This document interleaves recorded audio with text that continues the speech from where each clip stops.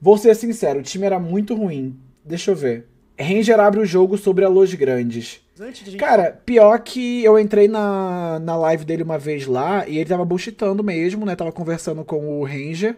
Tava bullshitando o time da Los Grandes. Ele tava dizendo que o treino lá era muito ruim, o caralho é quatro, tá ligado? Estranho isso, porque eu não achava o time tão ruim assim, velho. da campanha em si, eu queria falar da Antes de Los, ver eles, né? Porque pro LoL Jogar. é muita novidade. Aí, né? ficou Então claro. eu queria saber um pouco mais como é que foi esse contato, como é que, o que é que você viu lá dentro, gostou, Uhum. o que é que a Los Grandes pode trazer, porque né, é, uma, é uma administração nova, que é o- a galera do LoL, eu não tenho nenhum conhecimento, já fiz inclusive aqui o convite, né, para os, o Gato, os donos da Los Grandes sentarem aqui com a gente para dar uma conversada e falar sobre os próximos anos. Olha aí. Queria saber um pouquinho mais de Los Grandes, porque pra gente é uma grande interrogação. Uhum. Cara, a- a- o contato foi que nem eu falei, eu tava na Fúria e eles, eles vieram assim sondar a minha situação. Então, eu busquei saber mais da, da organização pelo, pelo pessoal que eu conheço que tá lá, que eu conheço o Flair, Tuts, é, o Riev e o Snows também, que são o staff lá. Estranho eles falarem que, era tipo, GH, que esse time era ruim. Quem, quem trocaria ali desse time né, que pelo é um time ser e, ruim, tá tipo, ligado? Não eu tem como. firmeza nele, assim, nessa ambição de querer fazer um time competitivo, de querer ganhar, de Tá baixo? Mano, pior que esse tá no máximo já, gente, ó. Tá no máximo. sabe, de querer vir com tudo assim. Então, hum, é, eu juntei alguns fatores que me fizeram ir pra lá, assim, algum- algumas condições, né, algumas, algumas informações que eu peguei com, com o pessoal que já tava lá. Então foi, foi uma transição bem confortável, assim, a estrutura deles é muito boa, tipo, provavelmente a melhor estrutura que eu já fui, que é tipo um, É mesmo? é, é tipo uma. é, Uma mansão num condomínio de, de, de mansões, assim, Ô, sabe? louco! Então, é, pô, a vida era muito mansa. Eu tinha um quarto só pra mim. Mano, estranho o Ranger dizer que a, a Grandes tem mais estrutura do que a Fúria. Eu vi esse, esse corte, não, essa, essa parte especificamente. Esse frame. Eu achava que a Fúria fosse uma das maiores equipes dentro do LoL em relação à estrutura, porque a Fúria tem um puta CT, né? É, tinha uma sala de treino enorme, pô, tinha, a gente tinha cozinheira lá, tinha piscina, tinha. A estrutura era absurda, assim, sabe? Era muito confortável. E era muito prazeroso tá lá. É, tipo, não faltava nada pra gente, a gente tinha São psicólogo, físio também, então a estrutura, assim, muito boa. E o, o elenco também, tipo assim, deu indícios de que era possível fazer essa micro- Miracle Run, tipo, o nosso, a gente tava almejando o sexto É. lugar, né? Tipo, a gente não tava numa situação boa. E talvez fosse possível, né? Chegar na, nesse sexto aí. E por que você acha que não deu? Por que é que vocês acham? Porque não só não deu, né? Vocês perderam pra Free caralho, fazia full dinheiro, duas. acredito nisso. né? Então, assim, como não é que... deu, cara, nós era ruim, mano. É mesmo? Nossa senhora, nós era muito ruim, velho. Tipo, Meu Deus, Ranger Nation falando que é ruim? Como assim, Ranger? Ah, velho. o que eles eram, o time. Não, o time era ruim, pô. Tipo, é, a gente jogou mal mesmo, assim. acho que quando a gente chegou, eu senti que a galera tava um pouquinho saturada já entre eles, assim, de tipo, ah, fulano tá errando isso aqui de novo, sabe? Tipo, quando já começa a virar um pouco de picuinha, um pouco de, de pé atrás, sabe? Em lidar. Você dá um feedback, tipo assim, pô, já te falei que não é, sabe? Sim, Nesse sentido. ligado. Então eu senti que o pessoal tava um pouquinho desgastado.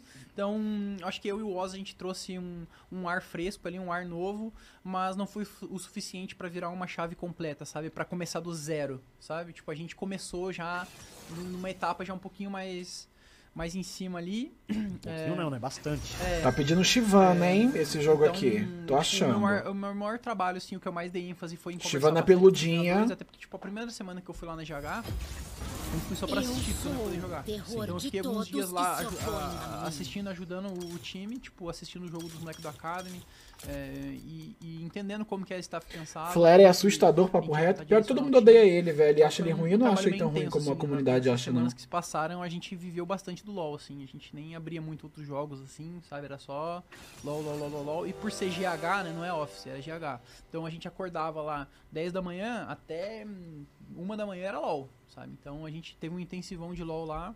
A gente só não conseguiu encaixar mesmo. Tipo, acho que a gente errava bastante, assim, tipo, la- lane phase ruim, early game ruim, quando ganhava um early game não sabia fechar jogo. Esse aí que eu acho que é o maior problema. É, É. cara. Porque claramente nos primeiros jogos, quem qualquer um que assistia falava, pô, existe Três potencial. seguidos. É, existe potencial ali, O óbvio. Joko nem assistiu, tá ligado? Ele tá só metendo esse louco. tempo, talvez. É, mas é- Realmente é o- difícil, Isso é né? full jogo. Porque Essa meteçãozinha de louco. pouco tempo pro time. Os outros times já estavam com o trabalho Exato. em andamento e, assim, o, o CBLOL achei que tava E aí, Picote, obrigado pelos seus três É, meses, tirando, meu querido. né, os que estavam ali só apanhando do... Não, do 7 pra cima, É, a gente só decidiu. Tinha jogo. No, a É. gente só decidiu o playoff na última semana. então ficava difícil mesmo, assim, não é aqueles, ah, aquele, aquele CBLOL de anos atrás que tinha quatro ali na frente voando, e aí então você conseguia bater numa galera de baixo num, num caso de uma motivação extra, né, que é o caso de novos jogadores. É, porque eu pegar do 7 pra cima ali, é, tava todo mundo com tinha chance de playoff até a última rodada. Sim. Né? Então foi uma coisa que ficou disputando bastante. Aí tinha a Rinsga que já estava desclassificado, NTZ também que não estava muito bem. E aí ficou ali né, na beirola de justamente vocês logo depois.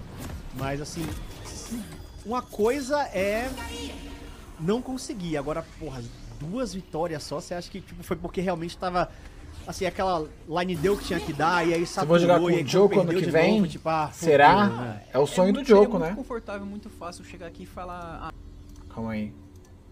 Vamos ouvir só. tempo, se a gente tre- treinasse mais. Mas eu vou deixar pausado. Não veio aqui pra mentir. gente vê. Falta Mano, mas eu não acho esse elenco do Flamengo ruim, não, velho. Não acho. Tipo assim, quem trocaria ali? Eu acho o Tei bom, eu acho o Flair uh, bonzinho, eu não acho ele o melhor. Nem perto de ser o melhor. Mas eu não acho ele ruim, entendeu? Troca The Carry Mid. Mano, mas é aquela parada que eu falei, tá ligado? Pô, ah, beleza, você trocaria o Flare e botaria o Titã ou algum outro AD Carry assim. Mas, mano, não acho que ia mudar intensamente, não, tá ligado? Não acho que faria tanta diferença assim, entendeu? Eu acho o Tuts bom, acho o Oz ok. ah, acho o Ranger ok, entendeu? Não acho que era um elenco ruim, não. Eu prefiro muito mais acreditar que aquele elenco já tava rachado, saca? Botaria o drop cheio de vontade pra ganhar. É, eu também tenho muita vontade de construir um foguete. E nem por causa disso a NASA me contrataria. né? É isso, né, Dog? Eu não acho que o drop tenha nível CBLOL, não, sendo sincero. Sendo bem sincero mesmo, não acho que o Drop tenha nível CBLOL, não. Eu gosto dele, tá ligado? É uma ótima pessoa, muito bacaninha. Mas eu não acredito que ele tenha nível CBLOL, como eu falei. Ele, sem dúvida, é uma pessoa muito esforçada. Quando eu passei... Quando eu tive um tempo com ele lá na... Lá na Cade, de fato, esforço é, tipo assim, o sobrenome dele. Mas isso não é tudo, né, mano? Isso é só uma qualidade que é bom você ter, mas não é tudo, não. Eu diria até que força de, de vontade é uma das menores coisas aí de qualidade, entendeu? Vamos dizer assim. Eu diria que até mesmo o, o talento. E o talento nato é até melhor do que força de vontade por si só, tá ligado?